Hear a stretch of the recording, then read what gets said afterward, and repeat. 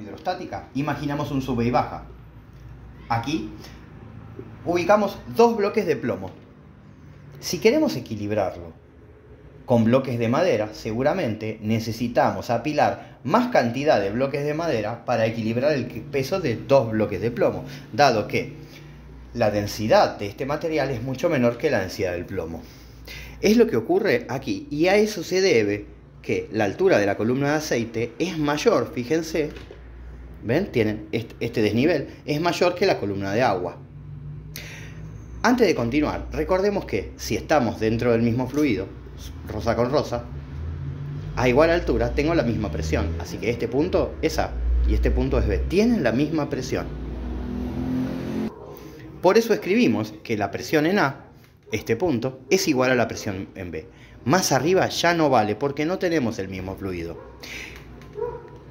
La presión que tenemos en B es debido a la columna de líquido y la presión que tenemos en A es debido a la columna de líquido.